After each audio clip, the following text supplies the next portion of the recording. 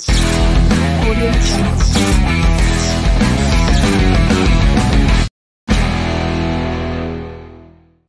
everybody, and welcome to the Cannversation, where we intend to destigmatize the conversation around cannabis and set the record straight about this powerful plant. I'm your host, Dave Briggs, former NBC Sports, former CNN, former Fox News anchor, as well as a host at Turner Sports. Now, it's been all Hall here on the show thus far. Calvin Megatron Johnson, Paul the Truth Pierce, and Gary the Glove Payton. Today, we continue to talk sports regarding the suspension of the fastest American sprinter, Sha'Carri Robinson, a one month suspension from the WADA, USADA for one positive THC test that came during the trials. For those of you not following the story, she ingested the product after being told by a reporter that her biological mom had died. Is this archaic rule going to change? Will Sha'Carri be an agent of change? We certainly hope so. Let's discuss it with Dr. Carl Hart, a professor of psychology at Columbia. He has done extensive research on drug abuse and drug addiction. He won the Presidential Award for Outstanding Teaching at Columbia. He's the author of High Price and this year, Drug Use for Grown-Ups, a book which he discussed with Trevor Noah on The Daily Show. Doctor, great to have you on the program now.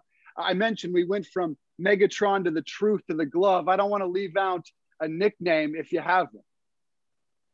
None, none that can c- compete with any of those. Fair enough. Okay, so let's just get your initial reaction. It's been a couple of days now to the suspension of Sha'Carri Robinson for one positive THC test. How did you react to it? Um, I, well, I thought it was um, silly is that we have this uh, rule in place for uh, athletes because I mean I understand we are concerned about performance enhancing drugs and everybody agrees that cannabis is no more a perf- performance enhancing drug than alcohol. And so if that's the case why are we testing for it? Um, and so I think it's silly that we are currently testing for it. And she got caught up in this um, um, and so uh, the question becomes, what do we do about it?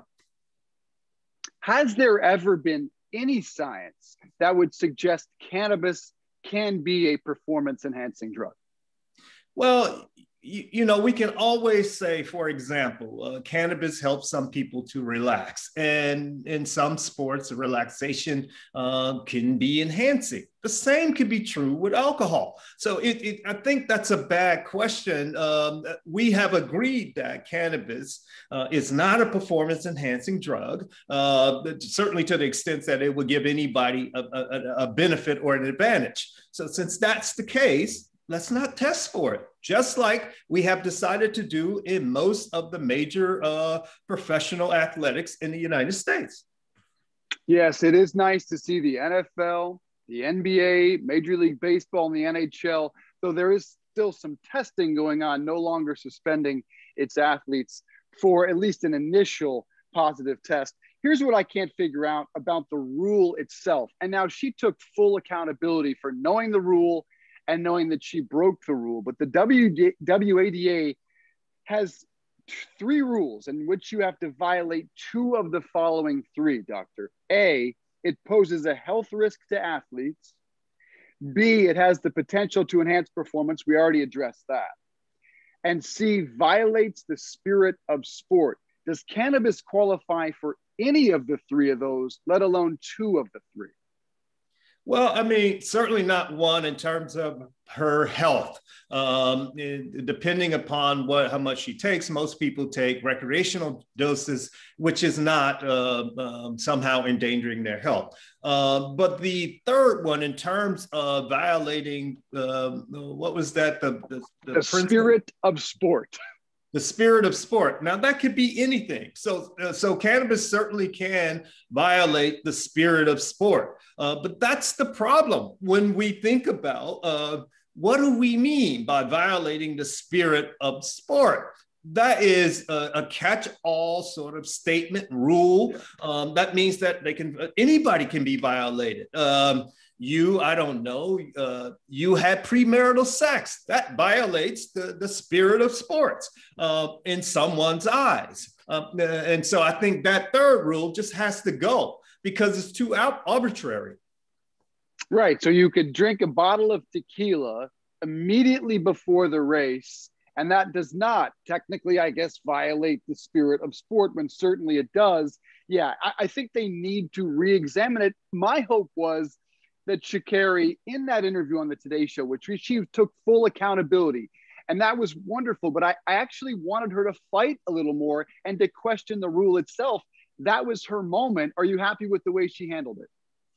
Well, how old is she? 20, 21 years 21. old? 21. Uh, it's, it's not really fair to ask her to handle this in certain types of way. I mean, she has her sponsors. Uh, they have told her that, well, you have all of these young people looking up to you. And so she believes that she has to be a role model, which is a ridiculous concept. All of those sort of things she's trying to uh, respond to. She's trying to serve all of these different masters. So I don't, I don't want to put any more pressure on her, but I understand that her sponsors and everyone else is putting pressure on her. Even the president of the United States was like, I really like how she handled it. She took full responsibility. You know, that's really that's bullshit. The president of the United States should not be commenting on that.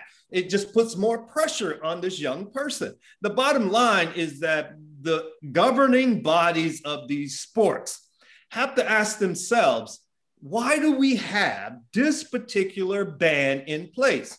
And we have this particular ban in place because of the United States war on drugs.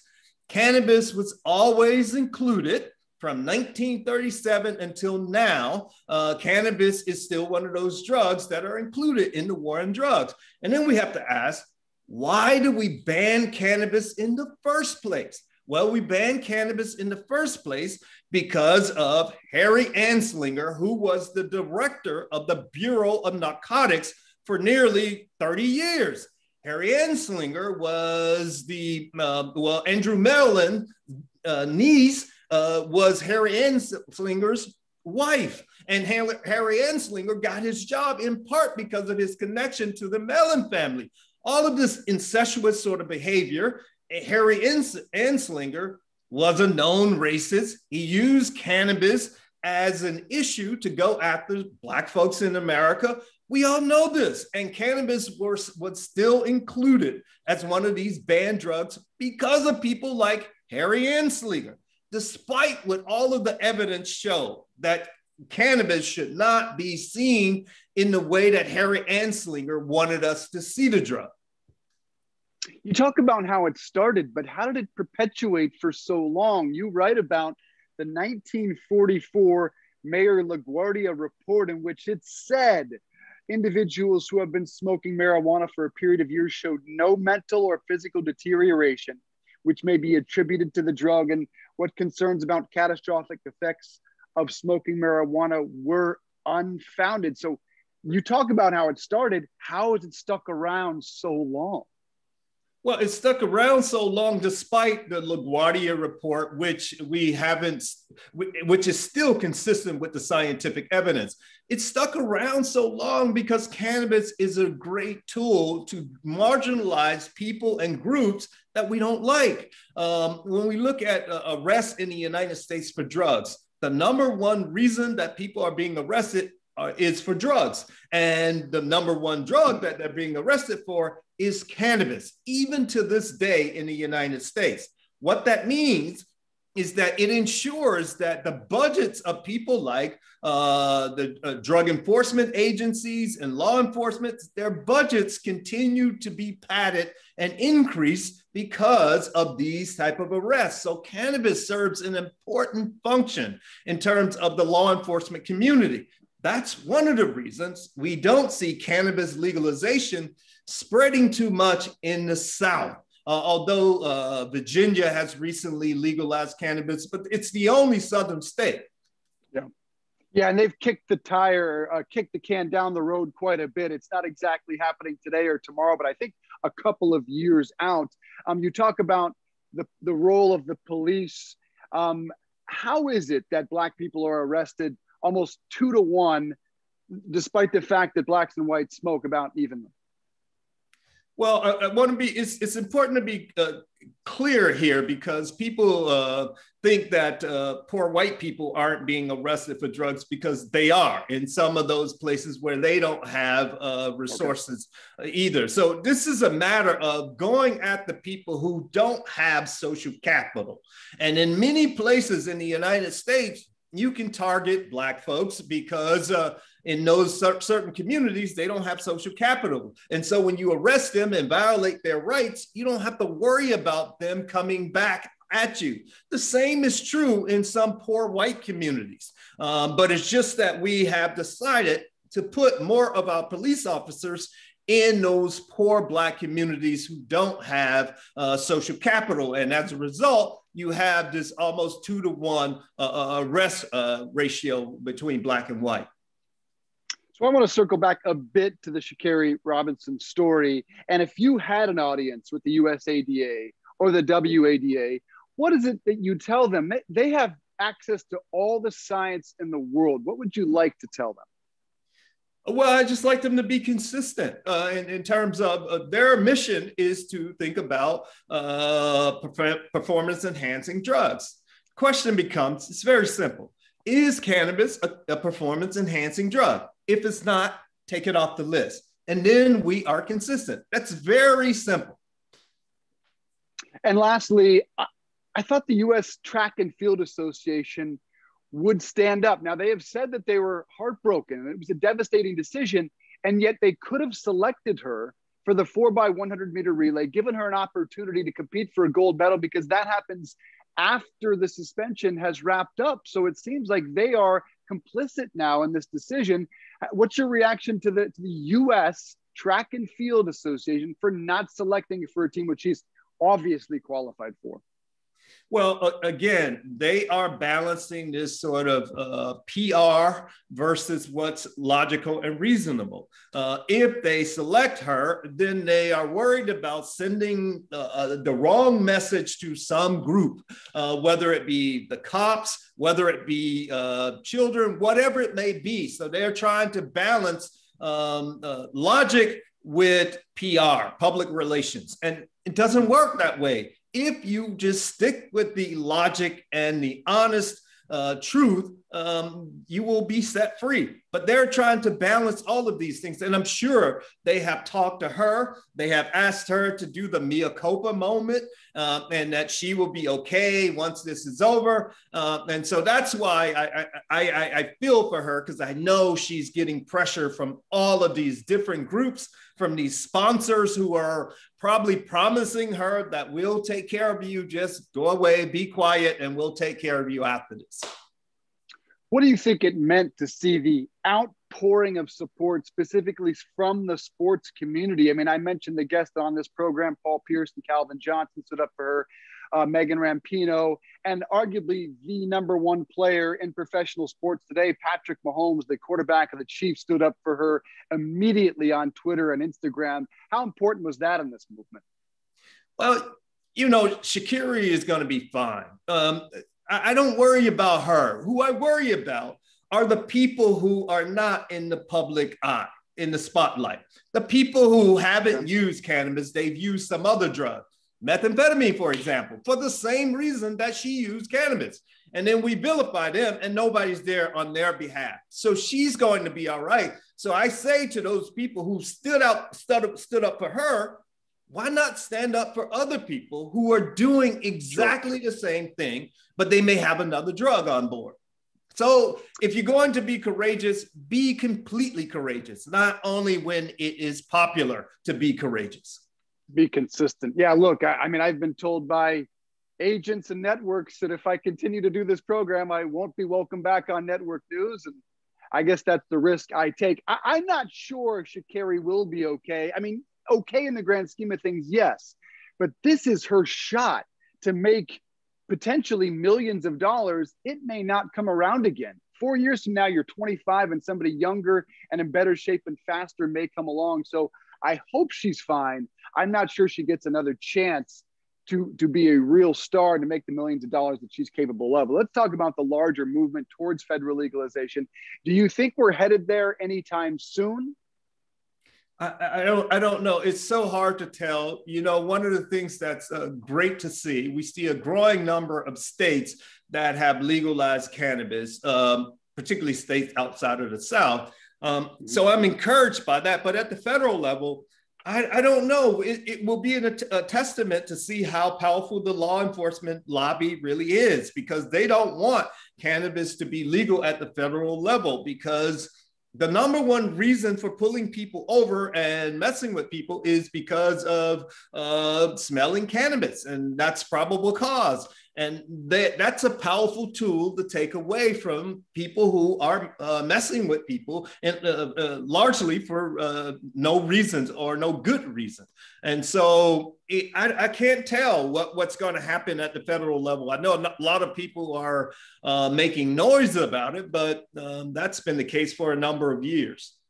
Yeah, legal in 18 states, including Oregon, where Sha'Carri Robinson, of course, did ingest the edible. Um, let's talk about Joe Biden's role in all this. I think there were a lot of people who were very optimistic when he was elected about federal legalization. But you mentioned uh, his comments in the wake of the Sha'Carri decision, and largely, he does not seem very supportive of federal legalization. What's been your reaction to how he's handled the issue? Okay, so I should make it clear. I voted for uh, I voted for Joe Biden, um, and so that's clear. Uh, but I think Joe Biden has Joe Biden is one of the reasons that we have such awful drug policy. Joe Biden was the architect for like many of these bills, like the 1988 uh, Anti-Drug Abuse Act. He was the main proponent of these acts that put more cops on the street, that made penalties more stiff for drug-related uh, violations. Uh, Joe, Joe, Biden is a is a drug warrior. Uh, we hoped that he would uh, come around, be more progressive on this issue, but he certainly hasn't shown that he is. I mean, his administration actually uh, terminated people for admitting to having used cannabis. Um, and, and, and so uh, I'm not optimistic, but it's important for us who voted for him to put pressure on him to um, join us in the 21st century. Shouldn't that come from Kamala Harris, the vice president, who has clearly been on both sides of this issue? Um, you mentioned the 94 crime bill, which some call the Biden bill. Well, Kamala Harris, a, a very tough prosecutor in California, in particular on the war on drugs, later admitting to smoking marijuana on a podcast. So, how hypocritical has she been on this important issue?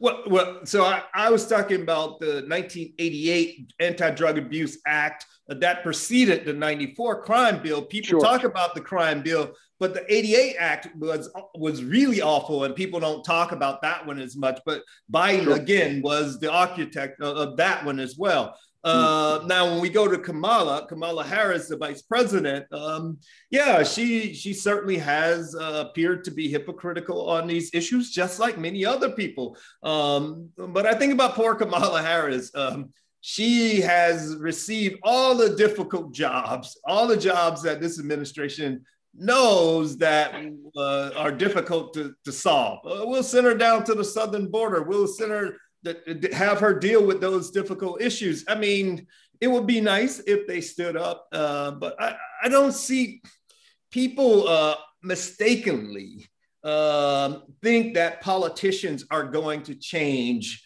um, these laws. It's the people. I mean, one of the reasons that we have a growing number of states uh, legalizing cannabis is not because of politicians. It's because people are seeing the tax revenue that can be generated from cannabis. And the people in those states are voting uh, to make these things legalized.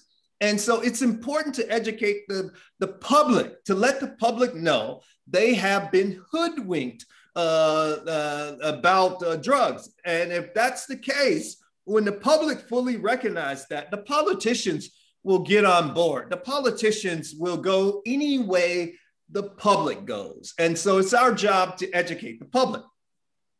the uh, politicians here in Connecticut reluctantly dragged over the finish line as the latest state to legalize cannabis. And we, you and I use this term cannabis, but largely we don't hear it. I think largely we still hear weed and marijuana. Are those terms damaging to progress? I don't think so. You know, there are some people who don't like the term marijuana because of the story that marijuana uh, came about because of the association with uh, Mexican Americans and uh, the vilification of the drug in that way. And so, therefore, I try not to use it because of that. But in terms of damaging uh, this sort of movement, I don't think so. I mean, terms are terms, they uh, change over time, they have different meanings, different connotations over time. But I, I, don't think that's the real impediment. I think the real impediment uh, uh, remains the lies that we've told about um, the drug, whether we call it marijuana or whether we call it cannabis. What role has the media, and I'm talking about traditional media, I want to get into social media later, but traditional media, television shows, and movies, what role have they played in the, the vilification of it? Well, it's important for us to understand that drugs in general and cannabis specifically, uh, we had this sort of stereotype image of the cannabis user. Uh, someone who's lazy, uh, on the couch, eating something like nachos or something of that nature. Um, and it made it easy for people in, who made films, uh, um, who did stories on it you could be lazy and come up with these stereotype views of the cannabis user and you could be believed. That's changing. But that, for a number of years, uh, was the image that we had of the cannabis user. Today, as more people come out of the closet about their cannabis use, it's more difficult to uh, simply stereotype the user as some uh, irresponsible uh, person. Uh, and, and so the media is coming along with cannabis uh, more so than any other drug. Um, but for years, the media has played a role in uh, caricaturing the people who use cannabis. And I think that's changing. And, and I'm actually kind of uh, encouraged by that. I too, I my former network CNN. I know there's been smoking uh, on the New Year's Eve programming, and in particular, Doctor, I was really heartened by a moment on the Today Show about a month or so ago with the Joints for Jabs publicity up in Washington State, and rather than getting uncomfortable with the story, they laughed it off, and Al Roker said something like I think I need another another um, vaccine. So I, I think it actually was a moment that that put a bit of a human face on smoking cannabis. I don't know that other people felt that way, but it felt like a moment of progress to me. Well, with, when you have people like you said, Al Roker laughing, um, that again, that behavior is quite adolescent. And we're trying to get away from that adolescent behavior because there okay. are serious adults who smoke cannabis and enjoy themselves, just like there are serious adults who have a glass of wine at dinner. Uh, when you think about, like, for example, if we look at all the late night TV shows, I mean, the major networks, CBS, you have Colbert, NBC, you have Fallon, and you have Seth, uh, Seth Meyers, Jimmy Kimmel on ABC. All of those networks, they, when they talk about cannabis, they still talk about cannabis as if they are little boys. They talk about it like adolescents. Um, they still make fun of cannabis users You're right. like you're in 1976. Um, it is uh, that's a problem when you have like for example when Stephen Colbert has on Seth uh, Rogen, Seth uh, Rogen. Uh, he can't really say cannabis. He can't really say, and he always has to say, "I'm not. I am not promoting cannabis use." even though during the pandemic, during the whole pandemic, Colbert had a drink of alcohol. And then yet he acts as if uh, by him having Seth Rogen on the show, he's promoting cannabis use. It, it's fucking ridiculous. That it's adolescent. That sort of thing we have to move away from. Did you see the moment in which Conan O'Brien smoked the joint with Seth Rogen on his late night TV show on TBS? I did not see that moment. Uh, good for Conan. He probably did it because he's leaving. Um, good for him. Yeah, it, it was it was a pretty great moment, and it you know it, it was a, a bit of a conversation as well. I, I enjoyed that one. Um, let's talk about now social media. I have noticed the shadow banning myself using the terms cannabis or marijuana, post disappearing, captions disappearing. It's really hard for people to get information out there and to push back against the stigma when Facebook and Twitter and TikTok and all these major social media companies are keeping the science, keeping the facts from the public, what would your message be to the Instagram, Facebooks, and Twitters of the world? Well, you know, I don't know really because I think like it's a platform and they have made that decision. Uh, my message would be mainly to the users get another platform that doesn't do that sort of thing because they are the ones who are determining this and they are controlling the information that we uh, receive or are able to disseminate. And so uh, if we don't like it, bounce, let's leave, let's go somewhere else. Um, uh, uh, but they've always done that sort of thing. They've always controlled uh, the messages that we get. Yeah, it's unfortunate. I would like to see someone set, although TikTok may be the, the most liberal in that realm. I, I have seen some traction in that format, though I don't entirely know how to use it myself.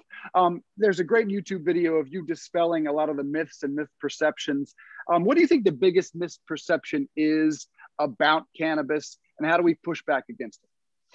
Uh, wow, there's so many. Um, I mean, yeah. there's there's the, the one about cannabis causing people to um, have a psychotic uh, disorder. Um, that's a huge myth. The evidence does not support that. But despite that, every so often you see a scientific paper um, that uh, shows a correlation. Correlation is not causation uh, between the two, and then the newspapers run with this as if uh, it's been demonstrated that cannabis causes psychosis. That's one. Another one is uh, cannabis causes people to have um, less IQ points. Uh, that's another myth.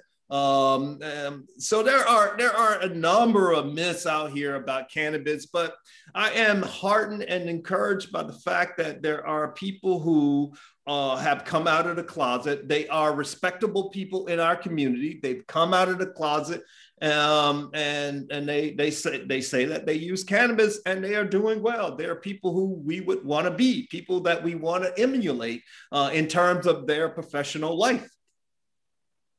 Uh, what about the myth that it is a gateway drug? That is the one I hear most in my community. What's the science there? Uh, so the gateway drug what we when we say gateway what we what we mean is that you use cannabis and then you'll go on to use some harder drug um, now when we think about gateway uh, it's true that uh, that uh, many of the people most of the people who've done something like heroin did cannabis before that's true but it's also true that the vast majority of people who have done cannabis never has gone on to use heroin. And so, this notion that cannabis uh, invariably causes you to go on to do harder drugs, the evidence does not support that. Um, I mean, we can think about the, the White House uh, when we th- when we had uh, I don't know who uh, Clinton, uh, Bush two, and Barack Obama. All three of those guys used cannabis be- cannabis before they went to the White House. Uh, it would be like saying that cannabis was a gateway drug to the White House. It's ridiculous. It doesn't make any sense. And the same is true when we talk about cannabis being a gateway drug. The people who say that either don't know what gateway means, that this is just a correlation, um, or they're being disingenuous. And so it's a silly sort of I have to tell you, you know, um, I am 54 now, and yeah. I am so tired of dealing with this low level shit when it comes to drugs. I can't, I find it hard to do because the thing, the thing is, all of these yeah. drugs, I mean, all of the sort of recreational drugs, the vast majority of people who use them are responsible adults who pay their taxes, who contribute to their communities, who are decent, good people just trying to live their life. And when we have these conversations about uh, gateway or some other uh, undesired effect that's caused by the drug, supposedly, we can't really discuss all of these beneficial effects of these drugs. And so it makes people like me be on the defensive. I've been studying drugs for about 30 years. Frankly, mm-hmm. I'm tired of being on the defensive. I'm trying to live my life and enjoy my life and enjoy my family and kids. Uh, but this defensive thing, I'm not participating anymore. Were you disappointed? You mentioned President Obama. Were you disappointed in the lack of progress in his administration?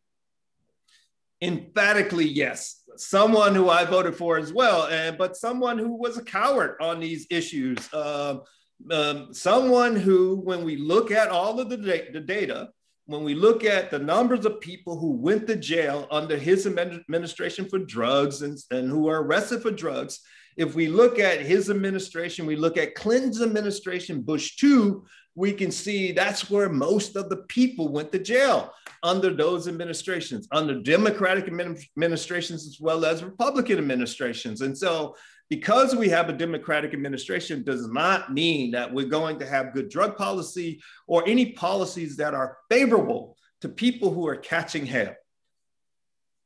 And lastly, as we wrap this up, if it's not going to come from the president of the United States, which it is clearly not, where will change come from? Where does it need to come from? Change always comes from the people, from the ground, from the grassroots. It always comes from the people. Uh, people uh, somehow, uh, I think our major major media outlets and those sort of folks, they have convinced people that change somehow comes from the insiders. The insiders are hell bent on keeping the system exactly the same as it is. Uh, because that's the system in which they benefited, in which they got uh, all of these fruits. And so they are hell bent on preserving the system. Um, change never comes from the inside. When I, I, think about the civil rights movement, I think about uh, the gay and lesbian activists, it was always from the outside. Those people always were the ones who made change. So this notion that we should look to politicians, um, that's a pipe dream. It's a waste of time. As I said, I'm in my 50s now. I don't have time to waste time like that anymore. Well, we are at 68% favorability in the American public. So it's certainly come a long way and it feels like we're getting closer. Dr. Carl Hart, it has been an absolute pleasure to speak with you. Please check out his book, Drug Use for Grownups. Follow him, Carl Hart on Instagram. We would love to have you back on the program. Thank you, sir. Appreciate Anytime, it. Anytime, bro. And good to see you. Good to see you, my friend. Thanks so much. This was great.